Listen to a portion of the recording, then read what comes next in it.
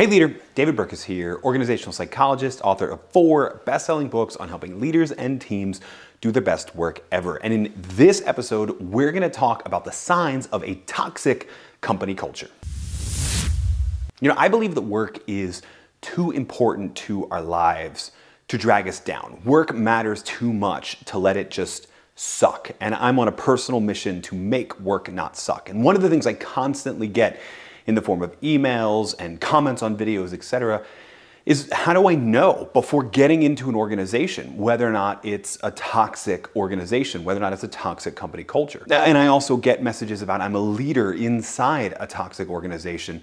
Uh, what do I do? How do I identify what's causing that toxicity. So in this episode, we're gonna talk about the six signs of a toxic company culture, and maybe even uh, some of the ways to identify them and how to, at the very least, mitigate them maybe even turn them around. Let's get started. So the first sign of a toxic company culture is a top-down leadership style.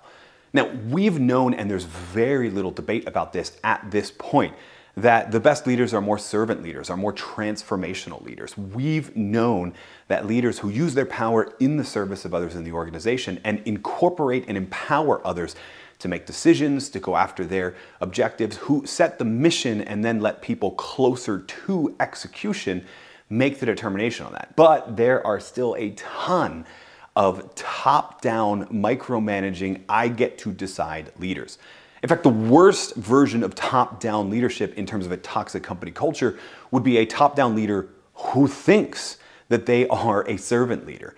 All right, and the end result is that people want to feel empowered. There's lip service toward empowerment, but in actuality, the empowerment you get is the power to guess what's on the leader's mind and execute that. And if you can't guess often enough, you're out, right? You're fired. That's an incredibly dangerous style for a number of different reasons, but one of the biggest is that people won't become engaged in the work. It's not their decision. They're just being told what to do.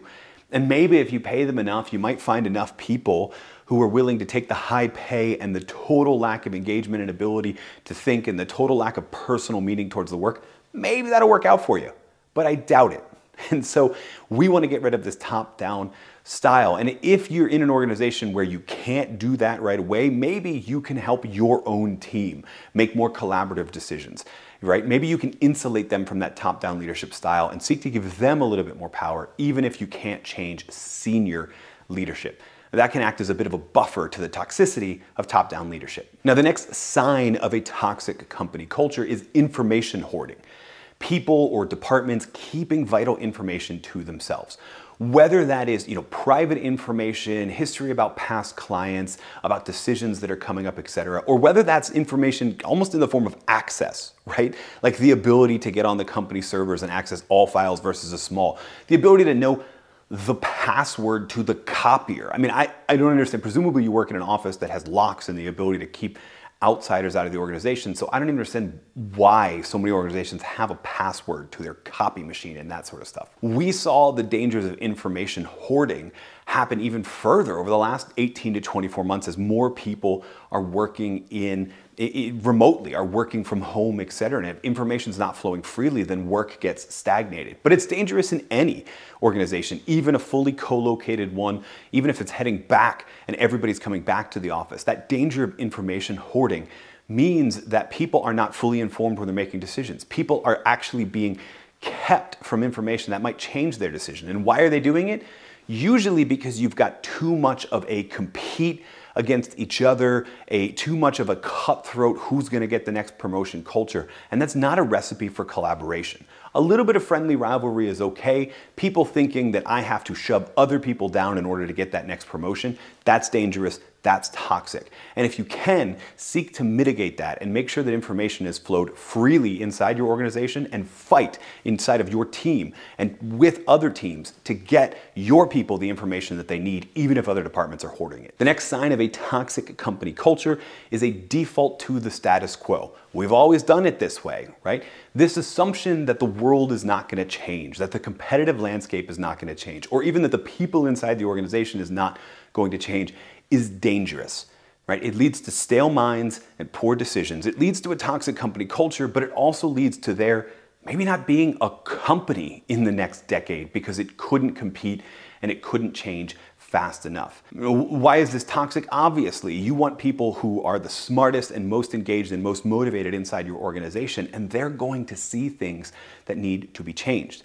And if you're defaulting to the status quo and you're not allowing them to make the case that we need to stay competitive by changing this, those people are going to get frustrated, demotivated, they may leave, or they may turn into just another bureaucrat that is helping the default to the status quo and making the situation even worse. So be willing to hear other people's ideas. Be willing to, they, you don't have to accept it. You just have to make sure people feel heard and are open to the idea, and everyone is open to the idea that we're gonna change. We're gonna change our business model. We're gonna change who we're reporting to. We're gonna need to change a lot of things because the only constant is change. The next sign of a toxic company culture, this might be my favorite one, is what I call recreational complaining recreational, in other words, complaining as like a pastime, as a favorite company hobby. And you know what I'm talking about, right? The people that meet up at the water cooler, at the coffee machine, or down in the lobby, and everything they say is a complaint, right? Now, if it's just one person in an organization, then you've got a toxic person. You don't have a toxic company culture. But if the vast majority of people can find time to complain, and complain to people who cannot change it, right? Complaining to your boss or complaining to senior leadership about something that you see that's wrong, that's not necessarily a problem. Complaining to other peers, all of whom have no ability to change it and really only the ability to pat each other on the back and go, yes, we're victims, this is a big problem, but we're not gonna do anything about it, we're just gonna keep complaining for fun. That's a huge sign of a toxic company culture. And that is something you can't allow yourself or your team to fall prey to. It's okay to complain, it's okay to criticize but it has to be criticism in the service of positive forward momentum, of positive change. If it's just recreational complaining, it needs to stop. The next sign of a toxic company culture quick excuses. When things go wrong, when there's a failure, when a project comes in over budget or, uh, or past deadline, or, or not at all. When projects fail, if people are quick to make excuses, quick to blame, quick to blame other people, that is a sign of a toxic organizational culture. A culture that knows that failure is feedback. A culture that knows that it's okay to fail is not a culture of quick excuses. It's a culture of shared learning. It's a culture of psychological safety. It's a culture where people feel like it's okay to share their setbacks because there's a lesson inside and everyone gets better when we share that lesson. Right? The opposite of that is quick excuses, quick blame shifting, and a, and a desire to get all of the spotlight off of me so I can just keep putting in my time, getting my incremental promotions, incremental raises, etc.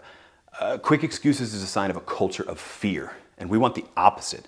We want a culture where people don't feel afraid of failing because they know that failure is feedback and that everybody gets better when we pull the lessons of that feedback out and share it across the whole organization.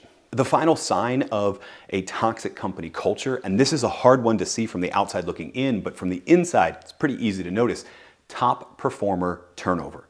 Turnover in an organization is okay. Every industry, every organization to have some level of turnover as a result of life changes, as a result of changes in the business model, right? Just that's okay. Different industries, it's different, and you don't want to be too far off the norm, but if you're in the norm, it's okay.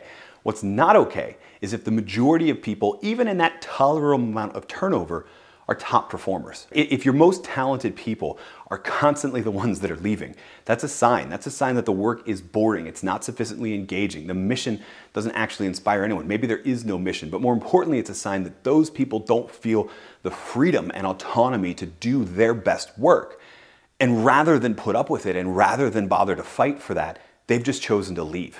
Right? That means they feel that there is so much resistance from defaulting to the status quo, top-down leadership style, or, or any of the other toxic signs. They feel like there's so much complaining, so much toxicity, and so much resistance to great performance that their easiest course of action is to leave. And that's a problem. That's a problem you're not going to solve right away. But if you can point to the other five that we've talked about, maybe you can turn it around.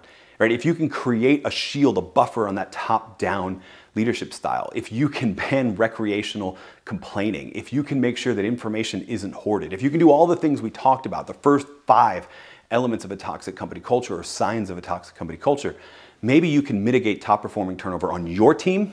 Maybe that means your team performs even better. Maybe that means you arrive at a leadership role that could actually help turn the company culture around and turn it into one that helps everyone do their best work ever.